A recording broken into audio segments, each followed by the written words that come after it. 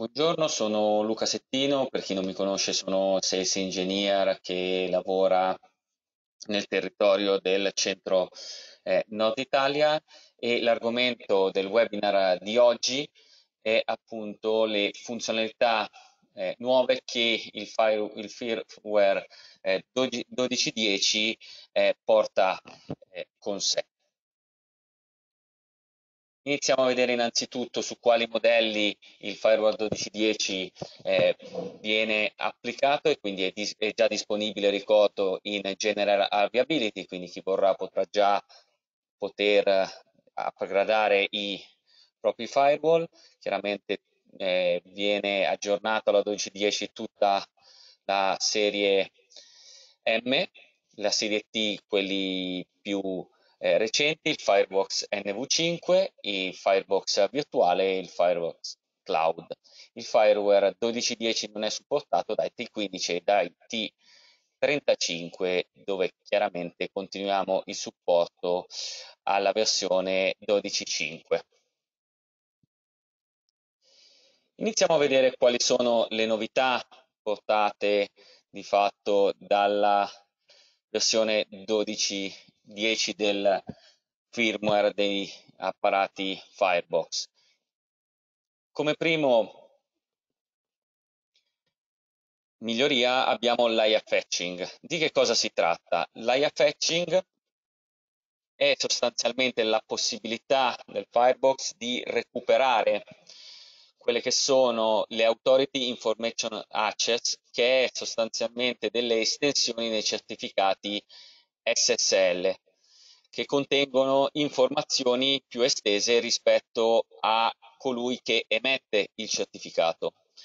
E quindi qual è sostanzialmente il vantaggio? L'estensione aiuta a recuperare i certificati intermedi dell'issue e quindi aiuta ad avere meno problemi no, per quanto riguarda poi la navigazione via browser, sia per quanto riguarda appunto gli errori no, sui certificati e chiaramente ottenendo una navigazione sicuramente eh, migliore. Quindi dove si applicano chiaramente questa possibilità di avere una raccolta immediata di certificati intermedi all'interno no, delle proxy action HTTPS eh, client. Di default questa funzionalità è abilitata in tutti i profili TLS esistenti e futuri. Per quanto riguarda i Firebox Local Managed, quindi gestiti con Fireware WebUI o il VSM, tramite appunto il Policy Manager contenuto nel VSM, essa si può abilitare o, da, o disabilitare chiaramente sulle, sulle regole alla bisogna. Per quanto riguarda invece i Firebox Cloud Managed, la funzionalità è automaticamente abilitata e non è possibile disabilitarla. Come già detto, solo le proxy, no? le, action, le proxy action HTTPS client usano appunto eh, questa, questa novità e come vediamo nella successiva mail come è semplicissimo andarla ad attivare quindi in realtà sulla web UI si ritrovano il checkbox dove poter attivare no, nei TLS profile questa tipologia no, di feature stessa cosa ovviamente l'abbiamo all'interno del policy manager.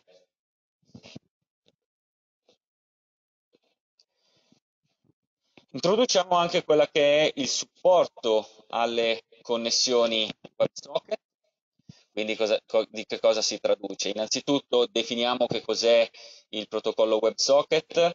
Il protocollo WebSocket permette la comunicazione bidirezionale tra client e server attraverso una singola connessione eh, TCP, quindi di fatto diventa più immediata e veloce ed efficiente il data transfer no, tra client e server ad esempio proprio il protocollo WebSocket è implementato nativamente eh, nella comunicazione degli agent dell'endpoint eh, di WatchGuard proprio per, per, permettere una comunicazione in real time con le console in, in, in cloud. Possibile dunque attraverso questo nuovo supporto andare a specificare quali HTTP proxy action possono consentire questa tipologia di eh, comunicazione e le connessioni WebSocket sono disabilitate per default per tutte le proxy action e quindi anche qui avremo comodamente la possibilità di attivare no, alla corrispondente voce alla WebSocket la appunto possibilità di utilizzare attraverso, all'interno di quella proxy action questa tipologia di eh, protocollo. Sia per quanto riguarda ovviamente la WebUI per quanto riguarda le connessioni WebSocket Per quanto riguarda un'altra novità è che c'è, e ci sarà qualcuno tra di voi magari che no, sobbalza eh, dalla, dalla, sedia, permettetemi la battuta, perché chiaramente questa introduzione dell'alias predefinito Microsoft 365 è un qualcosa che no, alleggerisce di molto no, la, la, la, gestione dei firewall. Questo perché? Perché di fatto il firewall 1210 fornisce un alias di default denominato Microsoft 365. Cosa significa? Che l'alias di fatto include no, una lista di domini FQDN e indirizzi IP usati da Microsoft no, per erogare i propri servizi da cloud e quindi poter utilizzare tranquillamente questo alias predefinito all'interno chiaramente delle policy eh, del firewall per poter permettere no, a chi sta dietro l'apparato a raggiungere in maniera sicura ed aggiornata tutti i servizi erogati appunto dal, eh, da, dalle sottoscrizioni Microsoft 365.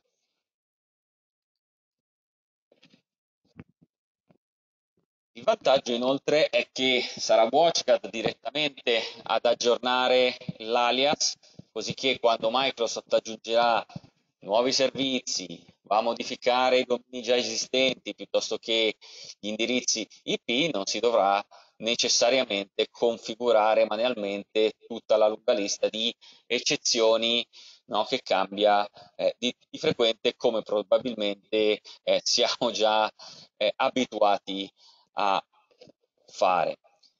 Le signature relativamente all'alias si possono forzare, uh, possono aggiornare eh, manualmente oppure no, autonomamente ci penserà l'apparato. Chi ad esempio ha già creato all'interno di fatto della, dei propri apparati un alias eh, denominato Microsoft 365 perché probabilmente è la versione manuale no, di questo nuovo servizio, esso verrà automaticamente rinominato come Microsoft 365.1 perché Microsoft 365 come nome verrà eh, preso dalla lista di fatto eh, automatica dall'alias che appunto propone l'aggiornamento della eh, 12 della 1210, così come l'alias modificato, se presente in qualche policy, no, chiaramente eh, verrà rinominato contestualmente. È chiaro che avendo a disposizione eh, l'alias, esso può essere poi utilizzato in tutte le forme di gestione che già conosciamo, attraverso la WebUI, attraverso il VSM e comparirà chiaramente anche all'interno dei built-in aliases presenti sul Watcher Cloud qualora il firewall è gestito eh, via cloud. Ricordiamo che chiaramente gli alias di default sono immodificabili e mai lo potranno essere. come si aggiorna sostanzialmente l'alias Microsoft 365? L'alias Microsoft 365 eh, si aggiorna cercando il box eh, denominato Enable Automatic Update che utilizziamo già per l'aggiornamento automatico dei servizi eh, di sicurezza, esso che sia gestito via Firewall Web UI sia che sia gestito tramite eh, VSM. Una volta attivato questo checkbox, anche l'alias Microsoft 365 verrà chiaramente monitorato e aggiornato se WatchGuard no, rilascerà nuovi dati appunto per, questo, per questa caratteristica. Così come all'interno della web UI, nella pagina dei subscription services, si potrà verificare no, lo stato di aggiornamento no, dell'alias Microsoft 365, vedere a quale no, eh, signature appartiene ed eventualmente tramite il bottone apposito poter aggiornare no, modificando i, i, i dati dell'alias stesso. Dal VSM no, è possibile verificare chiaramente la stessa eh, situazione potendo appunto verificare qual è l'attuale installato, qual, qual è l'ultima no, volta che si è aggiornato di fatto l'alias ed eventualmente se ci sono delle versioni nuove disponibili. È chiaro che no, attraverso la web UI e il VSM abbiamo la possibilità di aggiungere automaticamente eh, questo, questo, questo, alias all'interno delle nostre firewall, policy. Un'altra nuova caratteristica portata dal, dalla 12.10 è l'endpoint enforcement con la possibilità di aggiornamento a quale versione minima dell'OS il client di fatto che cerca di aprire una, un tunnel VPN è chiamato a rispondere. Quindi qual è il requisito minimo a livello di operation system. Facciamo un passo indietro, andiamo a, per chi non lo sapesse, a definire che cos'è chiaramente il servizio di Network Access Enforcement, precedente chiamato eh, Endpoint Enforcement. Ha, diciamo, eh, l'eredità da, da, parte del TDR, quindi già il TDR implementava questa funzionalità, nel corso del tempo lo abbiamo implementato anche eh, nei prodotti endpoint, quindi PDR, EDR, endpoint, protection e così via anche chiaramente per coloro che utilizzano gli stessi prodotti ma brandizzati eh, Panda. Sostanzialmente quando un client, quindi un PC con il client VPN installato, tenta di accedere al, al, al firewall, se questa funzionalità di network access enforcement è attiva, il firewall va a verificare eh, più caratteristiche, sostanzialmente va a verificare se l'endpoint è attivo funzionante sulla macchina, quindi di fatto la macchina, anche la macchina è protetta prima di farla accedere in una rete privata e se correttamente impostati si andranno a verificare quali sono i requisiti minimi a livello di OS, quindi di sistema operativo, per poter far accedere questa macchina. Okay? Abbiamo introdotto anche la possibilità quindi che i requisiti minimi siano eh, almeno Windows 11 e Mac Ventura 13, ma in realtà chiaramente si può tornare indietro. Ma la cosa interessante è che è possibile inoltre specificare una no, minor release del sistema operativo, quindi poter andare a specificare no? quale tipologia di minor release di Windows 10, di Windows 11, di fatto il, il firewall accetterà le connessioni provenienti da questi sistemi operativi. Accetta praticamente il, il box accetta di fatto fino a tre segmenti di, eh, di numeri separati da punti, quindi di fatto riferendosi chiaramente a come Microsoft no, eh, enumera le proprie eh, minor release di sistema operativo. Lo fa solo tramite numeri e quindi le lettere non vengono eh, supportate. Altra di fatto eh, novità è riguardante la rimozione dell'account di default VG Support.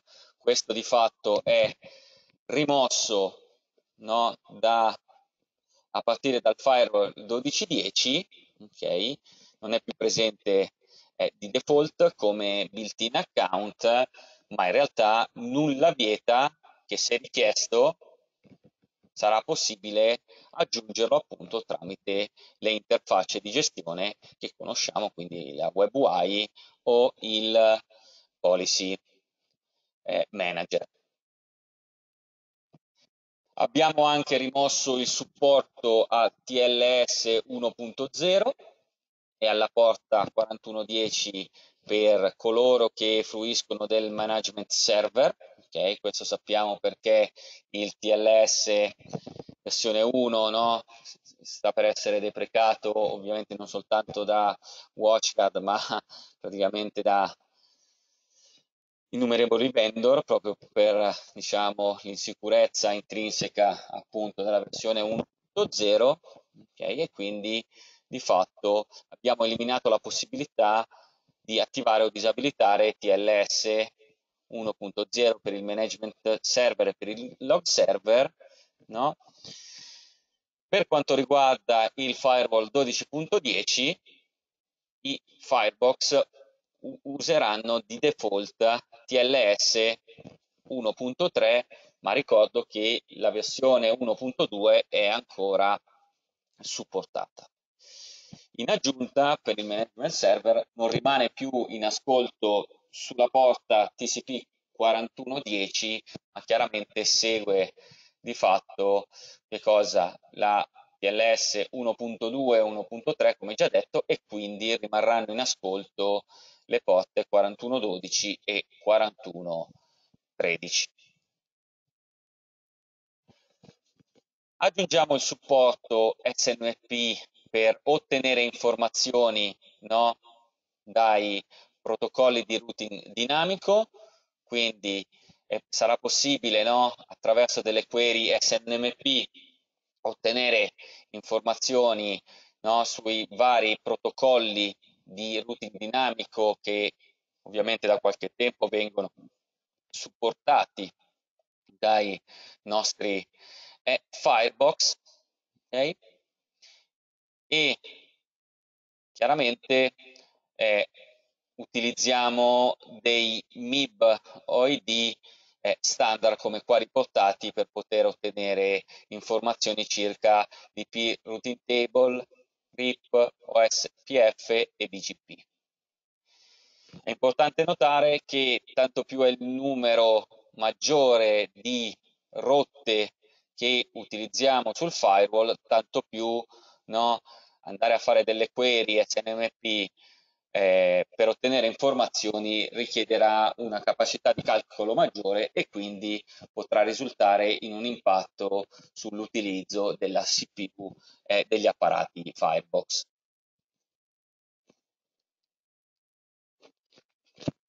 Altra novità riguarderà la mobile VPN con il client SSL portato alla versione eh, 12.10. Questo perché abbiamo aggiornato di fatto eh, dei eh, componenti no? e quindi di fatto aggiornato le versioni di OpenVPN e OpenSSL, aggiornato il TAP driver e chiaramente no? fatto il solito bug, bug fixing che viene ovviamente basilare quando si aggiorna le eh, versioni andando a risolvere i problemi delle versioni eh, precedenti. Per quanto riguarda di fatto il WatchGuard Mobile VPN per SSL Client per Windows supporta di fatto la versione eh, Windows 10 e Windows 11 e per quanto riguarda Windows Server 2016, 2019 e 2020.